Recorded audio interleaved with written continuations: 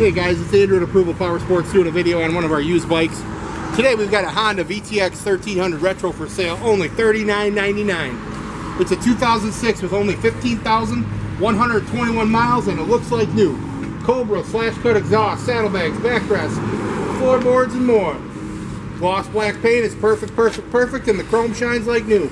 It runs strong, needs nothing, all fluids have been changed and it's ready for the road. Give us a call or visit our website, approvalpowersports.com. Check out the over 450 used bikes we have. We got leasing programs for everyone. We've got guaranteed financing.